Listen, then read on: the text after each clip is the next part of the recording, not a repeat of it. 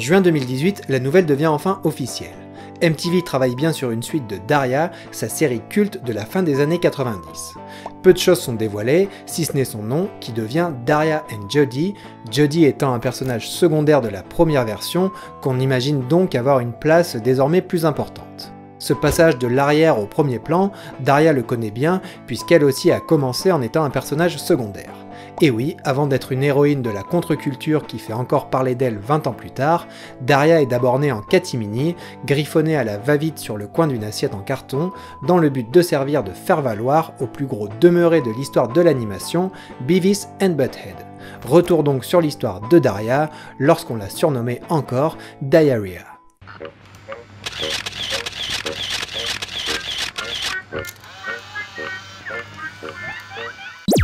Tell me how they kill these poor little animals that they use to make those furs?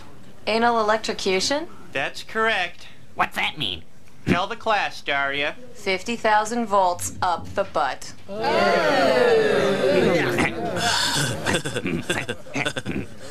That'd be cool.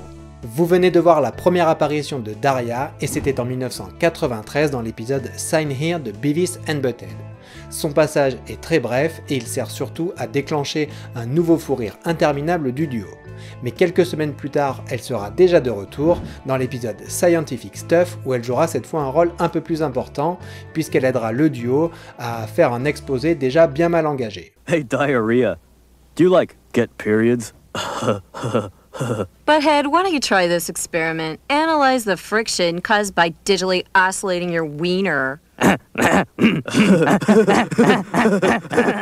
On comprend alors un peu mieux sa personnalité. Daria est une fille intelligente, maligne, mais comme Beavis and Butthead, elle semble assez marginale. Mais c'est ce statut d'outsider qui permettra de créer parfois de brefs moments de complicité, et ce malgré un dialogue quasi impossible et les innombrables moqueries des deux adolescents. What are you guys doing? Diarrhea, cha-cha-cha, diarrhea, cha-cha-cha, diarrhea, cha-cha-cha. Il faut savoir que la présence de Daria dans Beavis and Butthead n'est pas anodine, car à la base, elle n'existait pas dans les pilotes de Mike Judge, le créateur de la série. En fait, elle a été suggérée par la direction de MTV, qui voulait un personnage à l'exact opposé de son terrible duo, pour faire un peu contrepoids. Et l'exact opposé, c'était donc un personnage intelligent, mais surtout un personnage féminin. Car oui, à l'époque, Beavis and Butthead ne met en scène aucune femme, et son public est essentiellement constitué d'adolescents garçons. Et c'est un malaise que Suzy Lewis n'a pas de mal à avouer, elle qui était à l'époque productrice des segments musicaux de Beavis and Butthead, avant de partir co-créer la série Daria quelques années plus tard. Elle dit en effet, je n'aurais jamais regardé Beavis and Butthead si je n'avais pas bossé sur Daria. Le personnage est alors écrit par le scénariste David Felton, qui lui donne le nom de Morgendorfer en hommage au nom de jeune fille de sa mère. Le prénom Daria lui vient de Mike Judge en souvenir d'une de ses camarades de lycée qu'il surnommait déjà à l'époque Diarrhea. Daria est alors croquée pour la première fois par David Garrett Andrew sur le coin d'une assiette en carton lors d'une réunion avec comme inspiration principale sa copine du lycée. Le design est ensuite un peu peaufiné, selon les directives de Mike Judge qui, je cite, voulait une fille jolie mais simple. Quant à la voix, elle est confiée à la seule scénariste femme de l'équipe, Tracy Grandstaff, qui pour cette première dans l'exercice du doublage, dit s'inspirer de l'humoriste Janine Garofolo. Un choix par défaut comme elle le dit elle-même, mais qui sera finalement un heureux hasard, puisque Tracy Grandstaff restera la voix de Daria lors du spin-off qui la rendra célèbre. Pour l'occasion, elle retravaillera néanmoins un peu la voix. The paper made me fashion reporter because I'm a girl. I hate fashion. There's no fashion in this town. Don't worry, I don't have low self-esteem. It's a mistake. I have low esteem for everyone else. Malgré cette envie d'intégrer un personnage féminin charismatique, l'existence de Daria dans Beavis and Butthead est éphémère. À peine une vingtaine d'apparitions sur plus de 200 épisodes.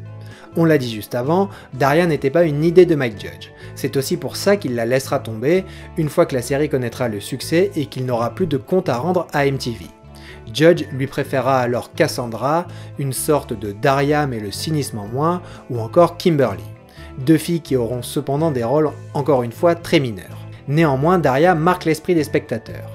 Elle apparaît d'ailleurs également dans le jeu vidéo Virtual Stupidity sorti en 95 sur PC, ainsi que dans l'adaptation en comics chez Marvel, où elle aura même une page dédiée, une sorte de courrier des lecteurs appelé Dear Diarrhea. Mais le plus important est l'empreinte que Daria va laisser au sein des équipes de Beavis and Butthead et de MTV, n'en déplaise à Mike Judge. Nous sommes alors entre 1994 et 1995, et le problème de la représentation des femmes ne touche pas que ce cartoon, mais bien tout l'univers de MTV la seule série axée autour d'un personnage féminin étant Aeon Flux, et au vu du design du personnage, on n'a pas de mal à imaginer que celui-ci était aussi destiné essentiellement aux garçons. Le network fait alors un appel à projet, et Suzy Lewis, avec son acolyte Glenn Hitchler, alors story editor sur Beavis and Butthead, font plusieurs propositions, qui s'appellent notamment Sneeze Louise, Drac World, Missy la fille à deux têtes, ou encore Cartoon Girl, tous sans succès. Ils tentent alors leur va-tout avec Daria, mettant en avant le fait qu'elle est déjà connue du public.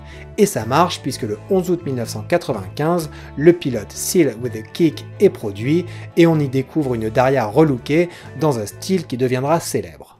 Daria? Do you need a beeper, Daria? Do you want to talk to us about anything, honey?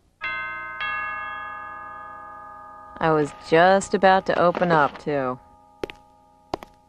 La dernière chose à retenir est que si Daria était techniquement un spin-off de Beavis and Butthead, la démarche de Suzy Lewis et Glenn Hitchler était-elle, vous l'aurez compris, plutôt d'opérer une rupture assez radicale avec l'univers et le propos de celui-ci. Il ne s'agissait en aucun cas de profiter de sa notoriété, et c'est pour ça qu'entre-temps Daria va déménager, et surtout qu'aucune mention au terrible duo ne sera faite durant les 5 saisons. Et ça a plutôt bien marché puisqu'aujourd'hui peu de monde sait qui était Diarrhea, la camarade de classe de Beavis and Butthead, mais par contre tout le monde se souvient de qui est Daria Morgendorfer, la fille la plus cool des années 90.